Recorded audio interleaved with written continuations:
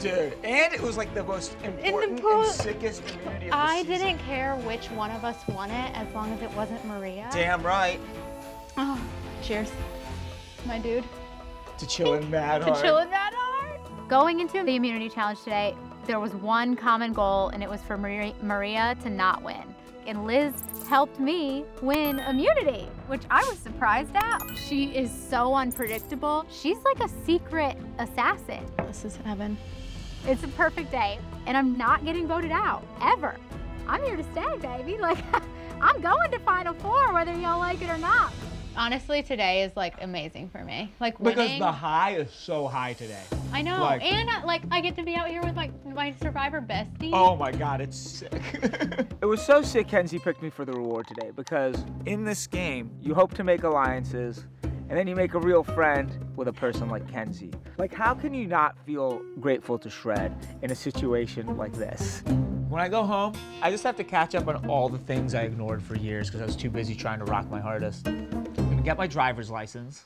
Hell yeah, that's a good place to start. Yeah. If you want to be an adult, we should get a driver's Exactly. license. On top of that, we're sitting in Fiji, overlooking one of the most epic landscapes of all time. It's such a vibe. It's like electric almost. What do we do when we get back? I don't want to come in cocky and be like, oh, Maria tonight, you know? Feels like too perfect. I would be shocked if something crazy happened. I think we're all on the same page because the enemy is so common. Maria is a whole package threat. Multiple immunities, decimated people's gameplay, played an epic game of deception. So unless she finds an idol or pulls a blindside, Maria's done.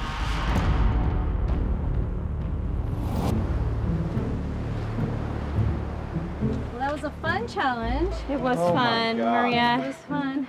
I do love you, dude. You're just such a freaking competitor, dude.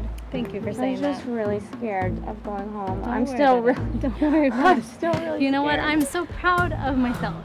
Liz going over to Kenzie to help to take down Maria. That says to me Liz is here to play.